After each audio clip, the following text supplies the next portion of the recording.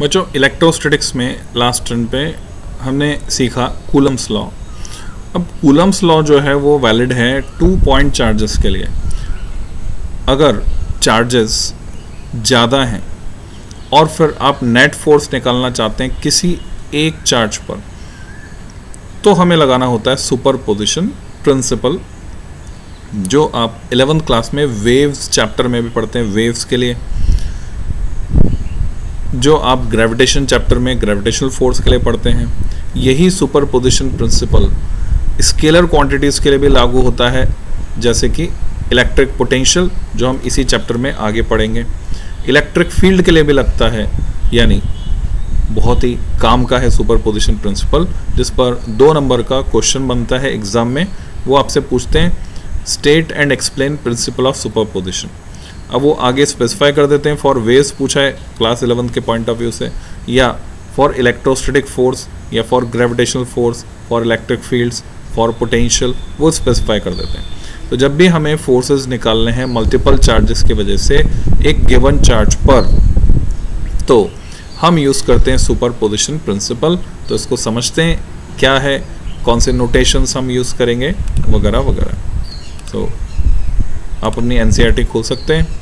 N e में ये article है 1.7 फोर्सेस बिटवीन मल्टीपल चार्जेस ये हमको समझना है बच्चों। सुपर पोजिशन प्रिंसिपल को कि कैसे काम करता है। यहाँ आप डायग्राम में देख रहे हैं, ये Q1 इसको हमने मान लिया गिवन चार्ज है Q1 जिस पर हम फोर्स निकालना चाहते हैं नेट फोर्स कितना काम कर रहा है। यहाँ पर Q2 और Q3 मिलकर सिस्टम ऑफ़ चार्जेस या multiple charges more than one charge Q2 और Q3 इस पर फोर्स लगा रहे हैं। तो नेट फोर्स निकालने के लिए जो हमें एक्सरसाइज या एक्टिविटी करनी है, वो एक्सरसाइज या एक्टिविटी क्या है? The mutual electric force between two charges is given by Coulomb's law, k q1 q2 by r square हम लोग familiar है। How to calculate the force on a charge where there are not one but several charges around आसपास एक से ज़्यादा है consider the system of n stationary charges generalize कर दिया हमने q1 q2 q3 up to qn in vacuum what is the force on q1 due to q2 q3 up to qn Coulomb's law is not enough to answer this question recall that forces of mechanical origin add according to the parallelogram law of vector addition तो parallelogram law of forces हमने पढ़ा था, जो कि triangle law का extension था। अब parallel में इलेवंथ क्लास की जो एन e है, उसकी प्लेलिस्ट भी मौजूद है मेरे चैनल पे। आप वो साइमल्टेनियसली रिवाइज कर सकते हैं। तो एन e आपकी थॉरो हो जाएगी word to word is the same true for forces of electrostatic origin तो जवाब है हाँ डेफिनेटली सभी तरह के फोर्सेज को हम पैरलोग्राम लॉ से जोड़ सकते हैं। Experimentally it is verified that ये स्टेटमेंट आ गया बच्चों force on any charge due to number of other charges is the vector sum of all the force on that charge due to the other charges taken at one at a time the individual forces are unaffected due to the presence of other charges this is termed as principle of superposition जब आपसे दो number में सवाल पूछा जाएगा state and explain principle of superposition तो आपको ये स्टेटमेंट लिखना है। या इससे मिलता जुलता स्टेटमेंट आप लिखते हैं तो वो भी वैलिड है। जैसे मान लीजिए, मैं इसको स्टेट करता हूँ इस तरह से the net force acting on a given charge Q0 मान लिया उसको Q1 की जगह गिवन चार्ज Q0 हम स्पेसिफाई कर सकते हैं स्टेटमेंट में due to a system of charges q1 q2 q3 q4 up to qn is equal to vector sum of the individual forces due to individual charges ये बच्चों, पहला aspect हुआ इसका। दूसरा एस्पेक्ट क्या है? The force acting between any two charges remains unaffected from presence of any other charge तो superposition principle में ये दो एस्पेक्ट हैं, दोनों कवर करते हुए चलने, तब आपको पूरे दो नंबर मिलेंगे। जिसमें डायग्राम भी आएगा दो नंबर के लिए और एक्सप्रेशन भी आपको लिखना होगा रिजल्टेंट फोर्स का। तब आपको पूरे दो नंबर मिलेंगे। अब गलती कहाँ हो जाती है? हम एक आस्पेक्ट कवर कर देते हैं, दूसरा आस्पेक्ट भूल जाते हैं स्लिप हो जाते हैं।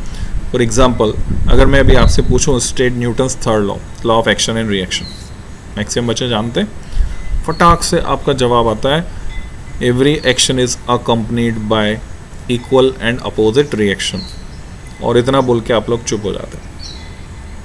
लिखने को बोलें तो इतना लिख के आप मान लेते हैं कि हाँ पूरे नंबर मिलेंगे। ज़्यादातर बच्चे, है ना? एक्सेप्शन आर देयर जो जानते हैं इस फैक्ट को। तो बच्चों, एक एस्पेक्ट नहीं है थर्ड लॉ का। थर्ड लॉ के दो एस्पेक्ट हैं। तो पहला आस्पेक्ट तो आपने लिख दिया, पर इसमें पूरे नंबर नहीं मिलेंगे। दूसरा आस्पेक्ट जब तक आप नहीं बताएँगे। दूसरा आस्पेक्ट क्या है? These forces act on different bodies और डिफरेंट ऑब्जेक्ट्स एक्शन जैसे ये लैपटॉप टेबल पर पड़ा है तो एक्शन किस पे हो रहा है? टेबल पे हो रहा है। और रिएक्शन किस पर हो रहा है? लैपटॉप पर हो रहा है। Action and reaction acts on different bodies तो जस्ट लाइक दैट दो आस्पेक्ट यहाँ पर भी हैं कि नेट फोर्स वेक्टर सम के बराबर होगा और किन्हीं दो के बीच लगने वाला फोर्स यानी जैसे Q1 और Q2 के बीच जो फोर्स इंटरेक्शन है उस पर कोई फ़र्क नहीं पड़ता Q3 थ्री यहाँ पर मौजूद हो या यहाँ से हटा दिया जाए। हाँ नेट फोर्स जो है Q1 पर वो अफेक्ट होगा पर Q1 और Q2 के बीच का इंटरेक्शन Q3 की प्रेजेंस से अनअफेक्टेड रहता है। ये सेकेंड एस्पेक्ट है सुपरपोजिशन प्रिंसिपल का। To better understand the concept, consider a system of three charges Q1, Q2, Q3 यहाँ पर लिया हमने। ये रहे Q1, Q2, Q3 as shown in figure 1.88 अच्छा इसी की बात कर रहे हैं अभी तो ऊपर वाली फिगर की बात कर रहे हैं यहाँ की। The force on one charge से Q1 one due to two other charges Q2, Q3 can therefore be obtain by performing a vector addition of the forces due to each one of these charges कर सकते हैं? Thus if the force on q one due to q two is denoted by representation जो ले रहे हैं किस पर किसके कारण? वन पर टू के कारण एफ़ वन टू वन पर थ्री के कारण F one three Thus, if the force on Q1 due to Q2 is denoted by F12, F12 is given by equation 1.3. Even though other charges are present, F12 तो इतना हो गया। K Q1 Q2 इसको मैं K पढ़ रहा हूँ one upon four pi epsilon zero को।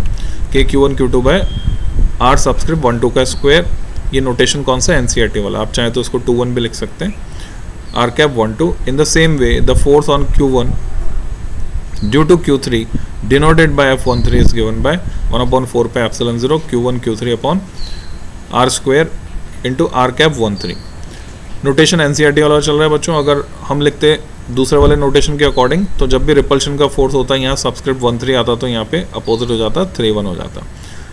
अभी हम एनसीईआरटी नोटेशन फॉलो करते हैं। Which again Coulomb force on q one due to q three even though other charge q2 is present. Thus, the total force F1 on Q1 due to the two charges Q2 and Q3 is given as दोनों का vector sum ये जो bold letters हैं ये vectors हैं. F1 one equal to F one two plus F one three दोनों का vector तो यहाँ तक लिखने के दो नंबर पूरे अब इसको समझाया गया है। The calculation of force can be generalize to a system of charges more than three as shown in figure 1.8 B तो अगला फिगर जो है इसमें ज़्यादा चार्जेस हैं। Q1 पर फोर्स लगा रहे हैं कौन कौन? Q2, Q3, Q4, Q5 यहाँ ऑरिजन हमने दिखा दिया जिससे कि इनके सबके पोजीशन वेक्टर हम निकाल सकते हैं। रिजल्टेंट फोर्स निकाला हमने। इन सबका रिजल्टेंट तो और जनरलाइज किया इसको तो F1 हो गया F1 two plus F1 three अब तो F1 N N चार्जेस ले सकते हैं। तो ये जनरल एक्सप्रेशन हो गया, जिसको हमने समेशन नोटेशन में एक्सप्रेस किया। The vector sum is obtained as usual by the parallelogram law of addition of vectors. All of electrostatics is basically a consequences of, ये अंडरलाइन कर लीजिए। Coulomb's law and the superposition principle तो इन दोनों को मिलाकर हम सब कुछ कैलकुलेट कर सकते हैं। यानी ये दो स्तंभ हैं, या बोले मेजर पिलर हैं किसके? इलेक्ट्रोस्टेटिक्स के। Coulomb's law and superposition principle तीसरा पिलर आगे पढ़ेंगे आप गॉस लॉ इस पर बेस्ड एग्जांपल देखिए 1.6 consider three charges Q1 Q2 Q3 each equal to Q हर एक का मैग्नीट्यूड सेम है। सिमेट्री आ गई। At the vertices of an equilateral triangle triangle भी जो इक्विलेटरल है जिसकी साइड L है symmetry what is the force on a charge capital Q with the same sign as small q? यानी same nature का है। तो रिपल्शन होगा उनके बीच placed at the centroid of the triangle यहाँ रख दिया। तो Q1 इसको रिपेल करेगा फोर्स F1 से। नीचे की तरफ़ Q2 रिपेल करेगा F2 से। Q3 रिपेल करेगा F3 से। आपको नेट फोर्स निकालना है। जिन्होंने वेक्टर्स ध्यान से पढ़े थे तो दो अप्रोचेस हमारे पास ये है कि अगर मैं F1, F2, F3 को लेकर वेक्टर डायग्राम बनाता हूँ। ट्रायंगल फॉर्म हो जाएगा एक F1, F2, F3 को लेकर बनाता हूँ मैग्नीट्यूड्स लेकर। तीनों के मैग्नीट्यूड इक्वल है। फिर से एक इक्वलेटरल ट्रायंगल बनेगा और ट्रायंगल लॉ का जो कन्वर्स होता है कन्वर्स ऑफ़ ट्रायंगल लॉ मैं स्टेट करता हूँ। आप रिवाइज कर लीजिए। If we can represent three vectors with three sides of a triangle taken in same manner same orientation same order तीनों में से कोई भी वर्ड यूज़ कर सकते हैं order manner orientation then their resultant is zero उनका रिजल्टेंट ज़ीरो तो इन F1, F2, F3 से मैं एक ट्राइंगल फॉर्म कर सकता हूँ जिसमें साइक्लिक ऑर्डर में तीनों वैक्टर्स होंगे तो इनका रिजल्टेंट क्या होगा? ज़ीरो होगा। तो रिज़ल्ट आ गया हमारे पास। दूसरा कंसेप्ट अगर दो वेक्टर्स 120 डिग्री के एंगल पर हैं जैसे कि यहाँ पर F2 और F3 हैं तो उनका रिजल्टेंट क्योंकि दोनों सेम मैग्नीट्यूड के हैं उनके रिजल्टेंट का मैग्नीट्यूड भी उनमें से हर एक के मैग्नीट्यूड के बराबर होगा और बाइसेक्ट करते हुए होगा। तो F2 F3 का रिजल्टेंट मैं निकालता हूँ तो ऊपर की तरफ़ होगा F1 के अपोजिशन में होगा सेम मैग्नीट्यूड का होगा जितना कि F1 का मैग्नीट्यूड है। तो नेट कितना हो गया F1 और उसका अपोजिट वेक्टर नेट हो गया फिर से ज़ीरो ये सेकेंड अप्रोच नाउ सॉल्यूशन देखते हैं in the given diagram triangle A B C of sides of length L if we drop perpendicular A D to side B C ये हमने perpendicular ऊपर से नीचे ड्रॉप किया। ए डी के, की कैलकुलेशन की हमने A C cos thirty degree क्योंकि हमें डिस्टेंस चाहिए A Q B Q and C Q जो कि तीनों डिस्टेंस सेम है तो वो कैसे निकालेंगे? हमें पता है जो मीडियन है मीडियन को जो सेंट्रोइड है, वो बाइसेक करता है टू टू वन के रेशियो में। या तो वो तरीका, या फिर हमें पता है एंगल 60 डिग्री है, और ये बाइसेक्टर है तो ये इधर वाला एंगल जो बचा, वो 30 डिग्री है, हम उससे भी निकाल सकते हैं। तो ए डी जो है, वो ए सी कॉस थर्टी के बराबर है। ए डी बराबर है ए सी कॉस थर्टी के ये एंगल 30 डिग्री है। A D is A C cos thirty A D is A C cos thirty तो हम उसको कैलकुलेट कर सकते हैं। रूट थ्री बाई टू आ गया। Root three by two times L and the distance A O of the centroid O from A is two by three है ना? रेशियो प्रोपोर्शन लगा रहे हैं। Two by three of A D क्योंकि median two to one two to के ratio में divide करती है। Sum of the ratio is one plus two three तो ये हमारे पास आ गया one by root three L then, by symmetry, बच्चों, cos 30 में अगर समझ नहीं आया तो ये वाला एंगल है, ये मार्क कर लीजिए आप, यहाँ पे 30 डिग्री लिख लीजिए। ये बेस हो गया। और ये हाइपोटेनियस हो गया। By symmetry A O equal to B O equal to C O यहाँ पर है। दस एफ़ वन जो है, हो गया इतना। एफ़ टू इतना हो गया एफ़ थ्री इतना हो गया। तीनों का मैग्नीट्यूड इक्वल है। Direction A O B O C O के अलावा। अभी इतनी सारी कैलकुलेशन की मैंने दूसरे तरीके बताया, उसमें इन सब कैलकुलेशन की ज़रूरत नहीं थी। फिर रिजल्टेंट फोर्स हम निकालेंगे। ये सब कट पिट के आ गया ज़ीरो जहाँ पे आर कैप है unit vector along O A ये मेंशन कर दिया। It is clear also by symmetry that the three forces will sum to zero suppose that resultant force was non zero but in some direction consider what would happen if the system was rotated through 60 degree about O. आपको एक hypothetical situation दे दी है। अगर system को घुमा दिया जाए 60 degree से ओ के अबाउट तो क्या फ़र्क पड़ने वाला है? देख लीजिए, क्या फ़र्क पड़ने वाला है? कोई फ़र्क नहीं पड़ेगा। हाँ। अगर रिजल्टेंट फोर्स नॉन ज़ीरो होता किसी डायरेक्शन में तो फ़र्क पड़ता। एग्ज़ाम्पल 1.7 इसी के आगे की एक्सरसाइज है। आपको अपने आप इसे करना है। ये समझ के चलना है, कई बच्चे कंफ्यूज हो जाते हैं कि कैसे आ गया। तो ये समझ लीजिए, सबसे पहले दिमाग में रखिए, किस पर फोर्स निकाल रहे हैं। जो नेट फोर्स हमें निकालना है, वो किस पर निकालना है। तो उसको अलग अलग से ट्रीट करना है है ना? उसको अलग रख लीजिए। अब जैसे ये Q1 पर नेट फोर्स निकालना है तो Q3 इसको इधर खींच रहा है Q2 इसको इधर धकेल रहा है तो ये नेट फोर्स इस डायरेक्शन में आ रहा है। अगर Q2 पर निकालना है तो Q3 इसको इधर खींच रहा है और Q1 इसको धक्का मार रहा है तो नेट फोर्स F2 इस डायरेक्शन में आ रहा है।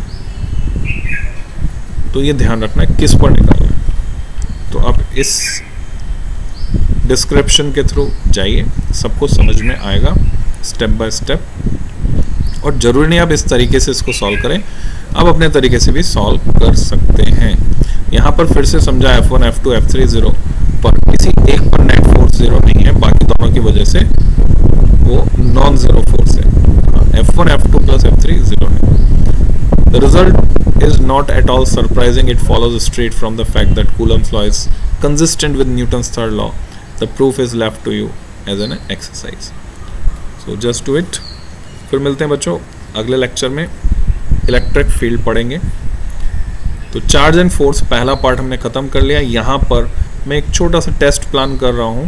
तो नेक्स्ट लेक्चर में पहले हम एक टेस्ट डिस्कस करेंगे questions based on charge and force then हम जाएँगे इलेक्ट्रिक फ़ील्ड वाले पार्ट पे, यानी सेकेंड पार्ट पर।